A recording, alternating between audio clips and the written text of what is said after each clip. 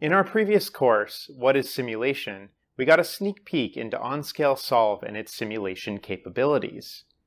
In this course, we will take a deeper look at the ins and outs of OnScale Solve. OnScale Solve has an approachable user interface that allows engineers and designers to solve complex problems of varying physics. Let's start on the OnScale Solve account homepage. Here you see your recent projects, your simulation studies, and the available cloud hours allocated to your account. In OnScale Solve, from the Projects tab of the dashboard, create a new project. Enter a name for your project and click Create. In this lesson, we are going to be focusing on a static structural stress analysis of a hip implant.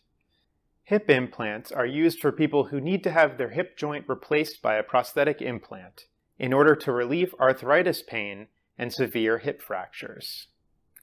The implant must be able to handle the weight of the human and the stress of daily physical activity. This is the main simulation user interface for OnScale Solve.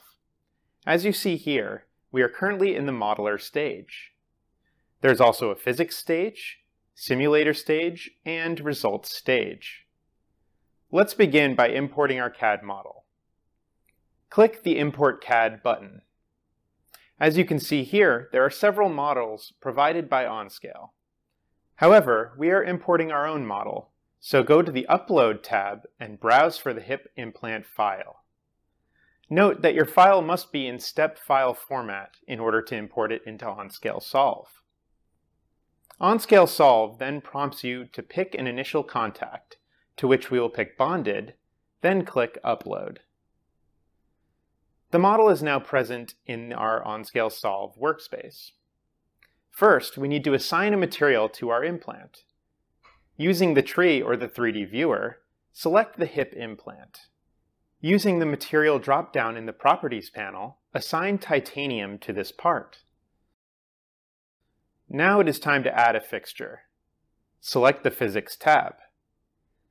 In the toolbar, ensure that the Mechanical Physics tab is on. In the toolbar, select the Restraint tool. Select the appropriate faces on the implant to fix in place, and select Done. Next, we will need to add a force. In the toolbar, select the Force tool. Select the ball joint faces as the target of the load. In the Properties panel, for force, enter 700 newtons in the negative y direction and select Done.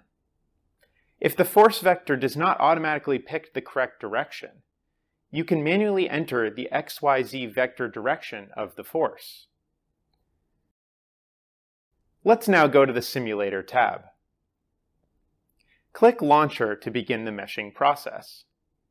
This automatically meshes your model, estimates how long the simulation will take to run, and estimates what the likely core hour cost will be.